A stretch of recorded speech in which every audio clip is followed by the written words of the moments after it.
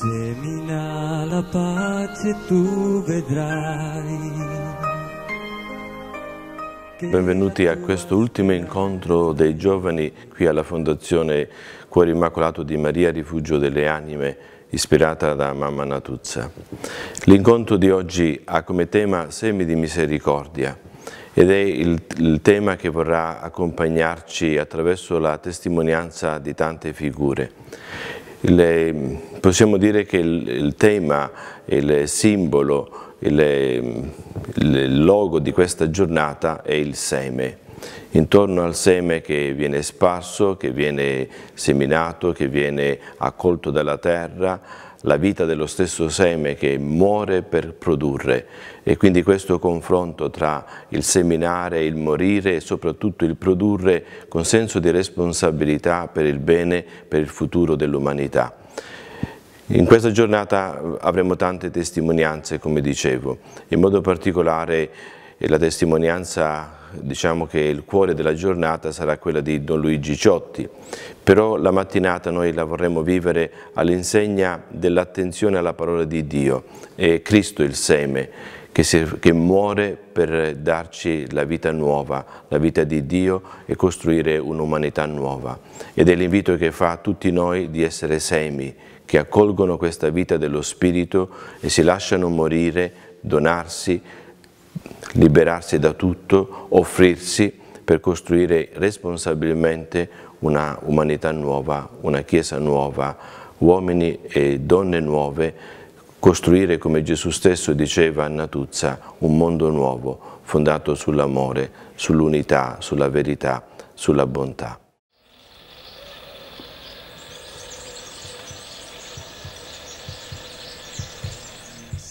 Il cuore della tua città, batte nella notte intorno a te. Sembra una canzone muta che cerca un'alba di serenità.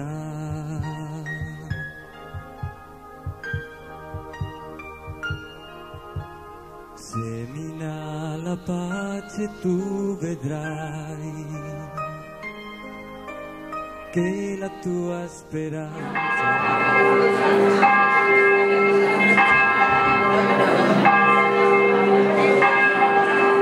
questo ultimo appuntamento dell'anno pastorale e vedete già il cambio con cui abbiamo voluto dare la via a questa giornata parla di seme, di seminare e sarà questa la parola chiave di oggi, la semina, il seme, il seminatore, il significato del seme, il significato del seminare, il significato del raccogliere, cosa comporta tutto questo.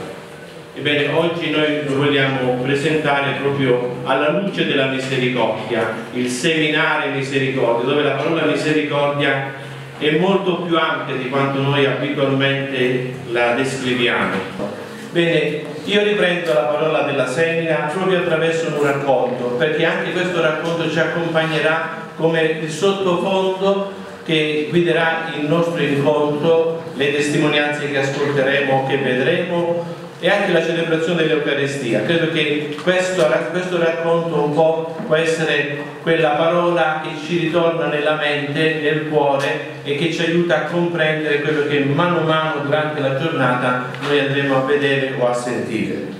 È un contadino che tutti i giorni ha questo compito, questo dovere per la casa di andare a prendere l'acqua al pozzo e va con il suo giumento e con due ancore riempie queste due anfore e tutti i giorni fa la stessa trafila dal pozzo a casa e ha due anfore, un'anfora che un'anfora, la prima anfora che ha comprato, vecchiotta, anche un po' crepata perché il tempo logra anche questo, e un'anfora nuova, di zecca, appena comprata al mercato, una novità che ha trovato lì per lì e allora quando arriva a casa eh, quasi sempre, quasi sempre l'anfora nuova è piena.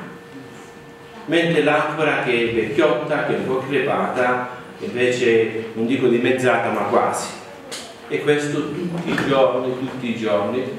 E il, per il contadino non era un problema.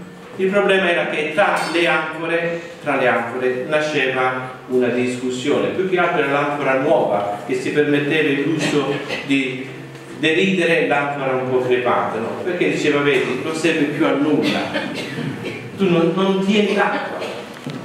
Il contadino fa tutta questa fatica per venire ad attingere l'acqua al pozzo e quando arriva a casa, vedi, io sono piena, non ne cade manco una goccia e tu invece metà non si pone più a nulla.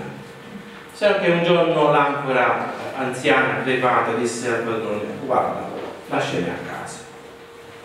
Perché tutta questa fatica di portarmi al pozzo, a riempirmi d'acqua, tornare a casa, essere di mezza e poi non solo assorbirmi tutti i giorni, tutti i giorni, no? Questa l'altra ancora collega, amica, collega che si permette ogni volta di sfottermi, no? di, di deridermi, lasciamo a casa. È una fatica inutile.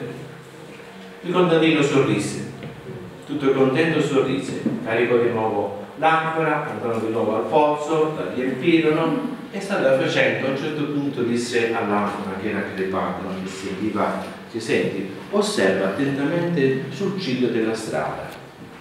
Cosa noti sul ciglio della strada? Vedi, io ho seminato dei fiori, e tu tutti i giorni con quell'acqua che perdi non fai altro che annaffiare, annaffiare, annaffiare. E secondo te no, le, i fiori che io porto a mia moglie e lei con tanta cura mette sul tavolo, ma da dove vengono?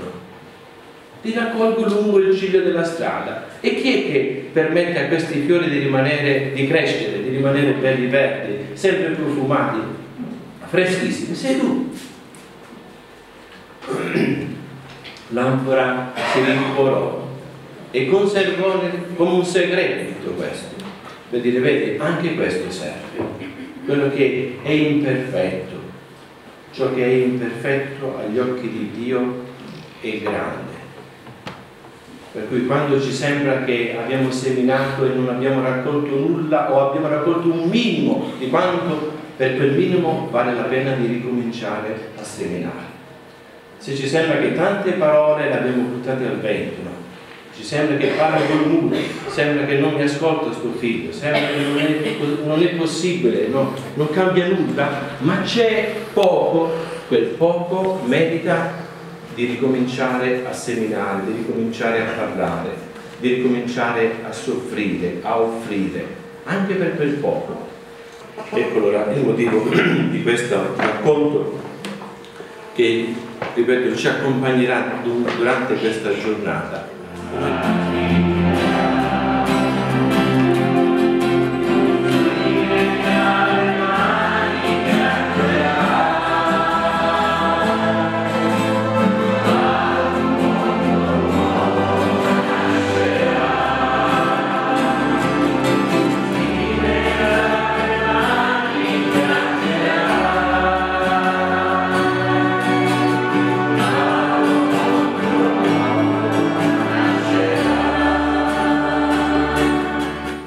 Siamo 1531 e il 9 dicembre, quando Juan Diego, adesso vedete il video, si incontra con questa bella signora.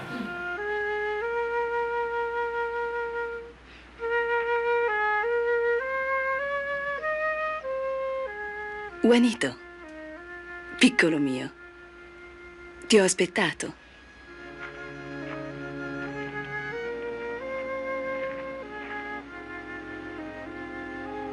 Ho riferito al vescovo il tuo messaggio, proprio come tu mi hai chiesto.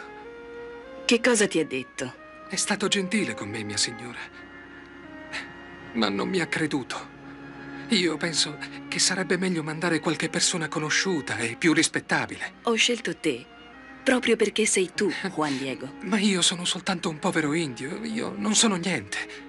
Non sono nessuno. Domani vai di nuovo dal vescovo, salutalo a nome mio e fagli conoscere ancora il mio desiderio, che ti ho mandato io personalmente, la Santa Vergine Maria, la Madre di Dio. Vai pure. Mia signora, farò come vuoi tu, ma so che lui non mi crederà. In ogni caso, tornerò domani pomeriggio per darti la risposta.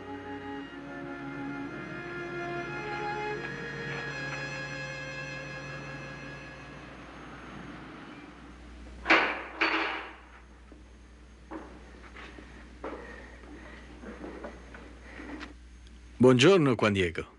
Vostra Eccellenza, ho visto di nuovo la signora. Quando l'hai vista la prima volta? Ieri mattina, mentre andavo alla messa. Stavo camminando ai piedi della collina del Tepeyac.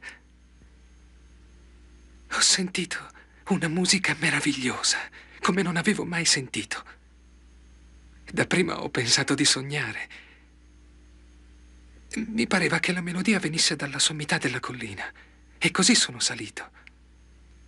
Quando sono arrivato in cima, ho visto la signora. Lei sapeva il mio nome, Juanito. Juan Dieguito. Poi mi disse di portarvi il messaggio. Cioè che io dovrei costruirle un tempio ai piedi della collina. In modo che in esso io possa mostrare e donare tutto il mio amore e aiuto, perché sono la vostra madre. Io ascolterò i pianti e i lamenti di coloro che mi invocheranno, mi ameranno e avranno fiducia in me, e allevierò le loro miserie, i loro dolori, le loro sofferenze. Juan, Juan, Juan. Ascolta, figlio mio. Ho un messaggio per te perché tu lo porti alla tua signora. Quale messaggio, Vostra Eccellenza?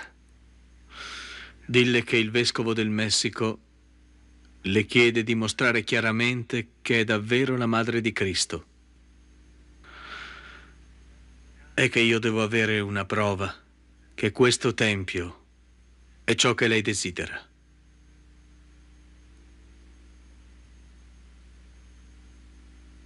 Riferirò il vostro messaggio.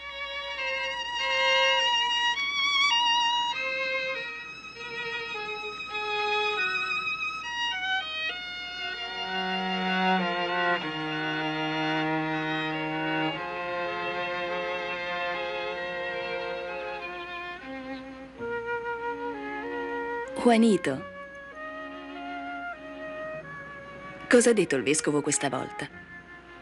Mia buona signora, gli ho riferito il tuo messaggio e lui l'ha ascoltato. Spero che non ti arrabbierai, ma lui non mi ha creduto. Vuole un segno che veramente sei tu e che desideri questo tempio. Non scoraggiarti, mio caro e fedele figliolo. Ti sei comportato bene. Vai in cima al colle del Tepeyac. Là troverai delle rose. Mettine più che puoi nel tuo mantello. Poi vai dal vescovo e digli che, dopo questo segno, egli deve fare quello che desidero. Non mostrare a nessuno ciò che tu porti, mio caro, prima di giungere dal vescovo. Non temere. Oggi il vescovo ti crederà. Ora va, mio piccolo e carissimo figlio.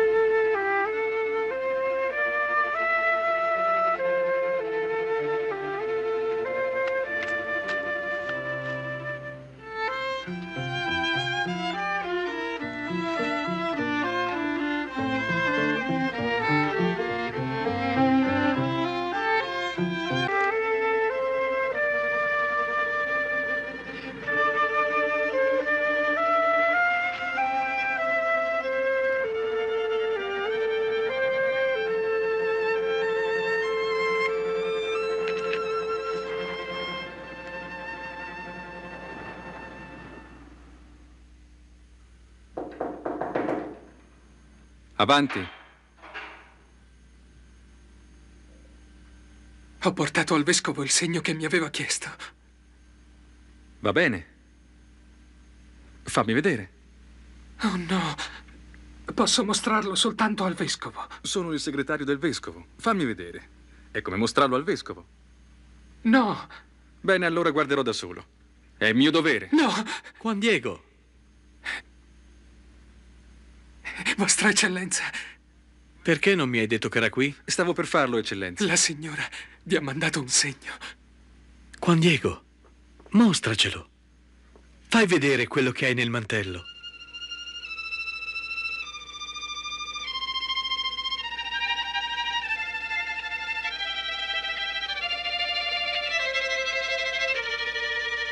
Rose. Rose in dicembre.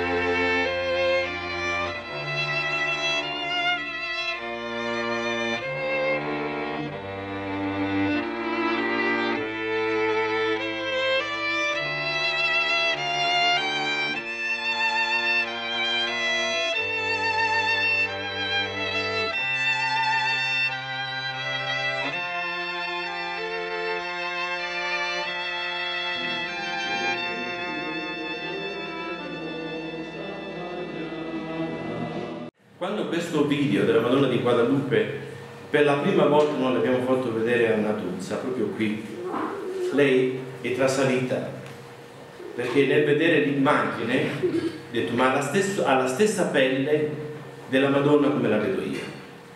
La Madonna di Guadalupe, moronina mulatta.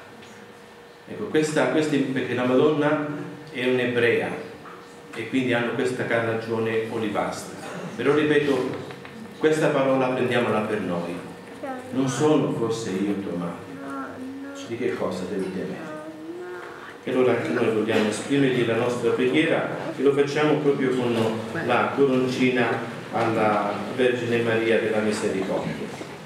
Salve Regina.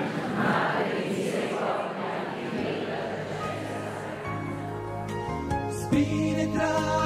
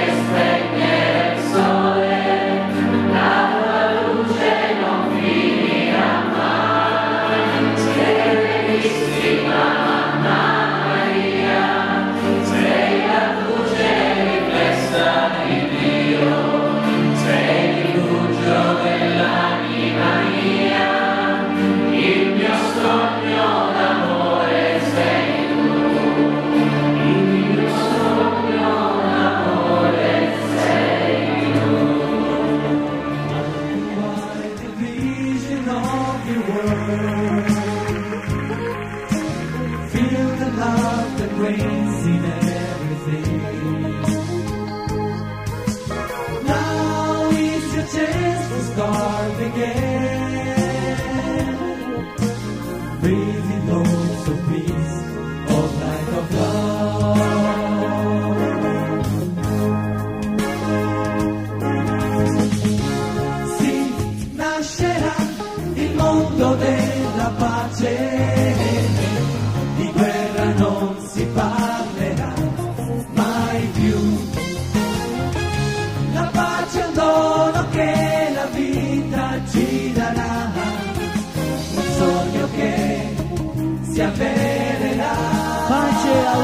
Cinese.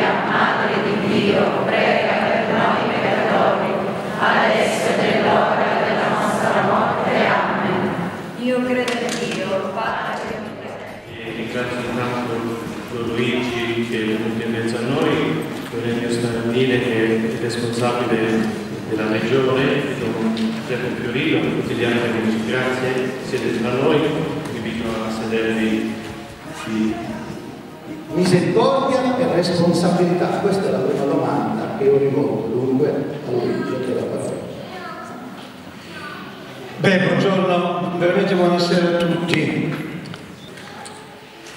Io credo che per rispondere alla tua sollecitazione, partendo dalla mia gioia di essere qui con voi questa sera, per condividere, vi prego, non ho nessun altro titolo, l'unica laurea che ho è in scienze confuse. Eh, non è una battuta perché poi io sento la dimensione profonda dei miei limiti. Il primo elemento che mi sembra fondamentale per rispondere alla tua sollecitazione è che è necessario conoscere è la conoscenza la via maestra del cambiamento. Guardate, c'è un grave peccato oggi che io lo definisco, uso questa espressione forte, per definire il peccato del sapere, cioè la mancanza di profondità. C'è troppa informazione di seconda mano per sentito dire. Il mio dovere, il vostro dovere è quello di conoscere, non fermandosi in superficie, ma scendendo in profondità. Abbiamo la responsabilità delle parole. Perché se uno non conosce, non ha gli strumenti per assumersi fino in fondo, non in modo superficiale, ma in modo autentico, la propria parte di responsabilità. Noi dobbiamo essere parte di questo cambiamento. E allora, che vuol dire poi l'assunzione della tua parte di responsabilità? In un orizzonte non di eccezionalità, ma di quotidianità, di un'assoluta normalità, che comincia dalle piccole cose, ma soprattutto deve cominciare da qui dentro. Quando sento parlare che il cambiamento deve partire dal basso, rischia di essere un'espressione facile, ma il vero cambiamento deve cominciare da dentro e solo così è possibile partire dal basso. E quando conosci che 4 milioni e mezzo di persone in Italia oggi vivono la povertà assoluta, un milione di bambini vivono la povertà assoluta, 8 milioni vivono la povertà relativa, per non aprire lo sguardo sulla mondialità, che invece che andare avanti si è andati indietro, perché il 2015 era stato stabilito dalle Nazioni Unite e dai suoi organismi l'anno in cui era il tetto della lotta alla povertà, adesso l'hanno rinviato al 2030. Ma di cosa stiamo parlando? 42 guerre sono in questo momento in atto sulla faccia della terra. E voi sapete che il diametro della terra, il diametro della terra è 12.000 km, ma sono stati costruiti già 14.000 km di mura e di fili spinati. Lo sapete che le mafie non sono figli della povertà e della retratezza, ma di quella si avvalgono. Quello è un terreno fertile che gli permette tutto questo. E corruzione e mafia nel nostro paese sono veramente le due facce della stessa medaglia. Sono i parassiti, i parassiti che ci impoveriscono tutti. Ecco allora perché ti senti piccolo. Ti senti piccolo, ma senti anche che non si può tacere, che dobbiamo unire le nostre forze, le forze degli onesti, per diventare una forza, che dobbiamo spogliarci a volte di tante etichette che ci siamo messi nei nostri gruppi, le nostre associazioni, i nostri movimenti, per unire le nostre forze. Se ci sta a cuore veramente il bene comune, il bene di tutti, che è un atto d'amore, allora ci spogliamo di questo, se no c'è altro che mascheriamo, perché ci stanno rubando delle parole.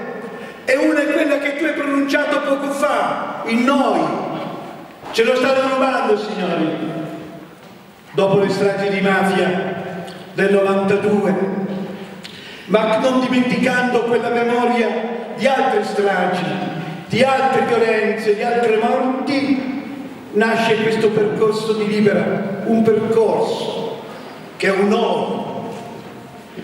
Oh, oggi trovate una marea di persone che dice noi, ma che continua a pensare io. Io. Pericoloso, pericoloso. È il noi che vince, fatto di umiltà, permettete anche di passione, perché quando uno ci crede nelle cose che fa, gli chiedi che cosa fai, trovi della gente eh, di passione. La passione fatta di testa e di cuore, di ragione e di cuore. Quando l'Italia ha 6 milioni di analfabeti, ripeto, 6 milioni di analfabeti, il nostro paese, conformi nell'analfabetismo di ritorno, allora non dobbiamo fermarci per saltare la terra con il cielo. Quella chiesa che piace a me, con tutti i miei limiti, le mie fatiche, le mie miserie, quella chiesa che ci invita a guardare verso il cielo, attenzione, senza distrarci dalle responsabilità che abbiamo verso la terra. Non dobbiamo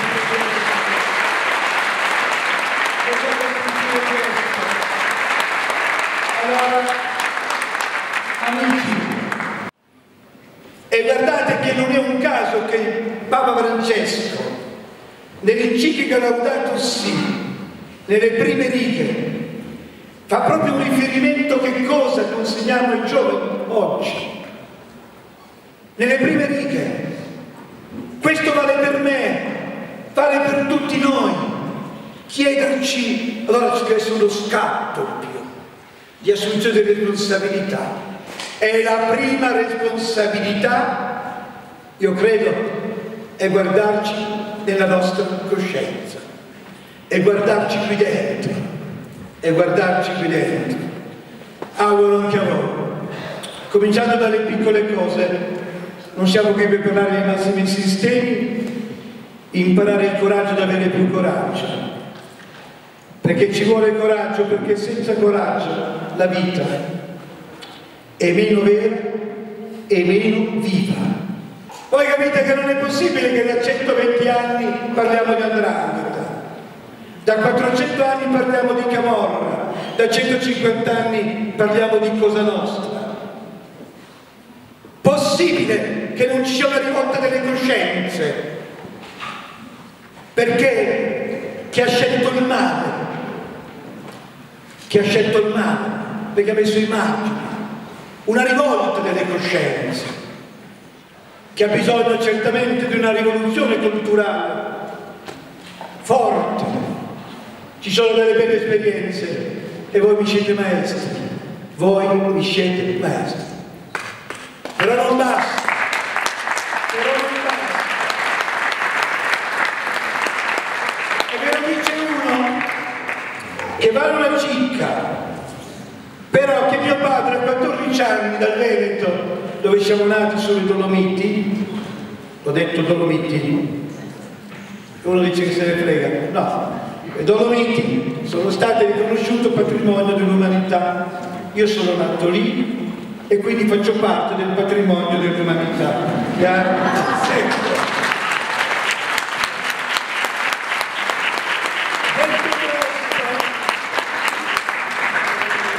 Mi auguro che presto la Calabria diventi patrimonio dell'umanità per la rivolta dei suoi cittadini, terra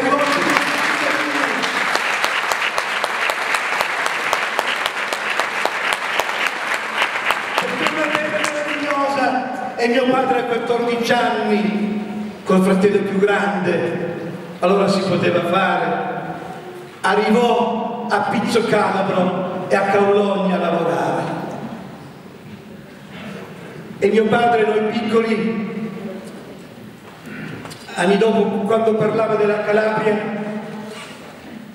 le lacrime le venivano agli occhi a mio papà, perché era piccolo. E cosa vuol dire a quell'età lasciare la propria terra, arrivare a una regione, ma quello che ci raccontava è la meraviglia di quelle famiglie che l'avevano accolto, l'accoglienza, la meraviglia. Mio padre ci raccontava la meraviglia che lui piccolo aveva ricevuto nella, e si era accolto. Siate orgogliosi di essere calabresi, ma ve lo dico con sincerità.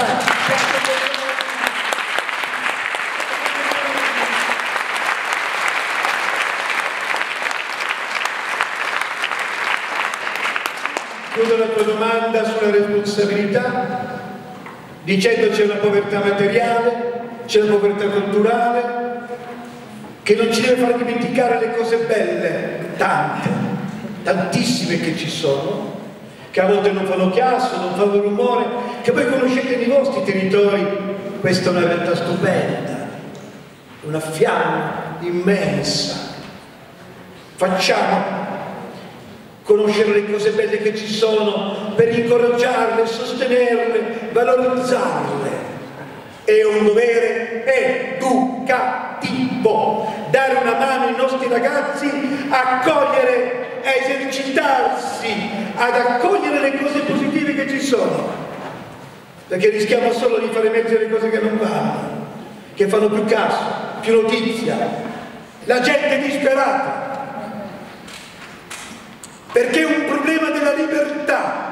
Chi è povero non è libero, chi è senza lavoro non è libero.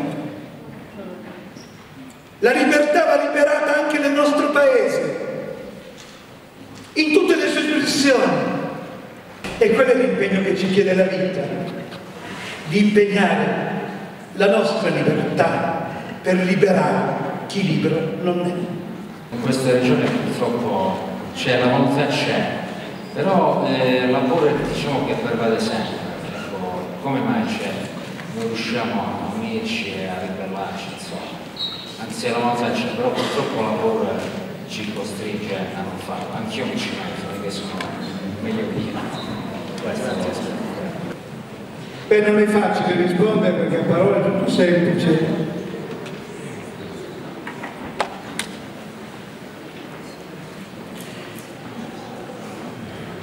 Io stesso sono testimone di un attentato preparato nei miei riguardi e grazie all'intercettazione, solo grazie all'intercettazione sventato.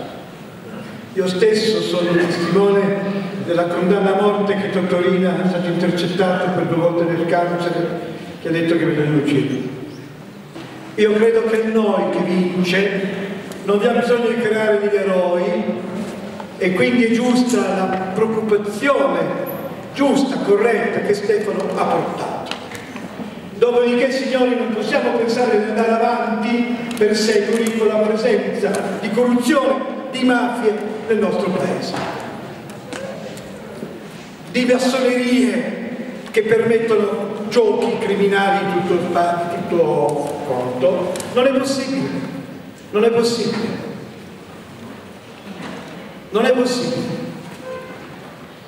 Non dimenticherò mai quando nel 1900, pensate, 1900, un sacerdote in Sicilia, che fonderà poi il movimento popolare da cui nascerà la democrazia cristiana, Don Luigi Sturzo nel 1900 disse la mafia, parliamo di quella siciliana, diceva la mafia più in Sicilia, ma forse la testarona.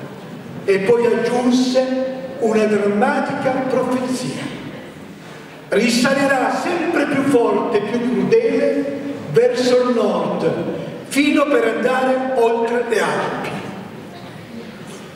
Lo snodo in Italia, futuro delle mafie, non è il sud, è già il nord. Lì lo sono sotto traccia, non fanno molto chiasso, le radici storiche erano qui, le cabine di regia restano in un sud, ma gli affari e che affari li fanno al nord. Lo snodo futuro è il nord. Il problema più grave non è solo chi fa il male, ma quanti guardano e lasciano fare. Troviamo insieme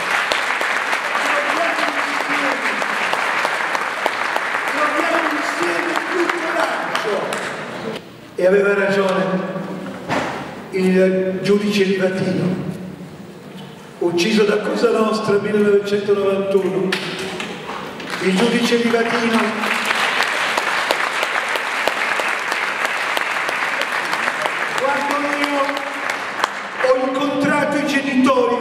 Morti, e mi fecero vedere il diario del figlio, io lessi una frase che nessuno diceva in quel momento, e da quel momento ho continuato a gridarlo ovunque. E adesso sento che tantissimi la stanno usando. Io mi ricordo l'emozione, quel papà, quella mamma, il diario, quando lui ha scritto sul suo diario, magistrato, bravo, impegnato, innamorato di Dio, si è scoperto dopo la morte che lui mandava in galera quelli che doveva mandare in galera perché non rispettavano le regole, creavano un danno a sé e agli altri. Ma abbiamo scoperto tutti dopo la morte che lui si mangiava lo stipendio in silenzio per mandare dei soldi, dei viveri alle famiglie, a quelle mamme con i figli che magari papà l'aveva di galera lui, in silenzio. E quando la mamma mi apre il diario del figlio, io quella frase non l'ho mai dimenticata, ed ami da grito, lui ha scritto, lo sapete già, lo conoscete già, ma ce lo ridiciamo di nuovo, quando ho detto che alla fine della vita non ci, sarà, non ci sarà chiesto se siamo stati credenti, ma credibili. E allora noi pregheremo per questo. E vi prego, chiediamo a Dio nella preghiera il nostro Don Michele, il nostro Presidente della Fondazione, Pasquale, poi guardate che, che reparto di preti qua, che bello insieme, chiediamo a Dio Michele che ci dia una bella pedata, la dolce pedata di Dio per andare avanti, per avere più coraggio, vi prego, e soprattutto facciamo società con Dio, il pacchetto di maggioranza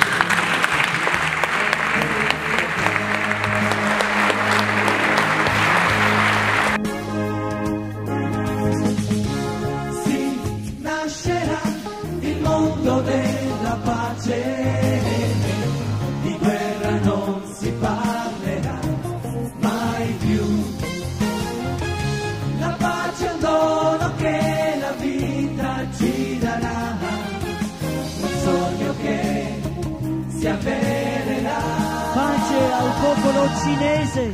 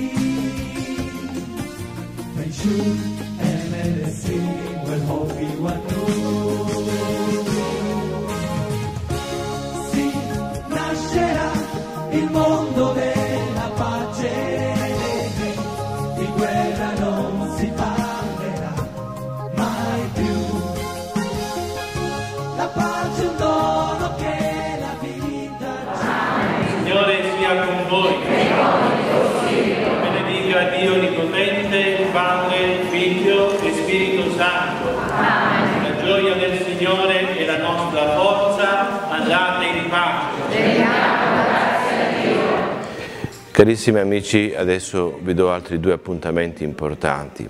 Il 26 luglio per la Fondazione è una giornata importante. Il 26 luglio ricorda la morte apparente di Natuzza, ma soprattutto ricorda la sua promessa, la sua promessa di offrirsi al Signore per una missione grande che l'ha accompagnata per tutta la vita. Il Signore le ha chiesto di portare a Lui anime e Natuzza ha vissuto questa donazione, questa promessa per tutta la vita, portando anime a Cristo e portando Cristo alle anime attraverso la sua semplicità, umiltà e carità. E l'altro appuntamento sarà il 23 agosto per ringraziare il Signore per il dono della vita di Mamma Natuzza e il giorno anniversario della sua nascita. Forse anche allora le persone avranno detto che sarà mai questa bambina, ma nel piano di Dio questa bambina è diventata un seme che morto ha prodotto, ha prodotto e continua a produrre una spiga ricca di chicchi.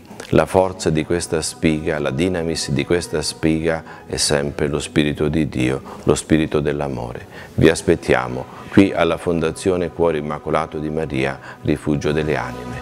Arrivederci.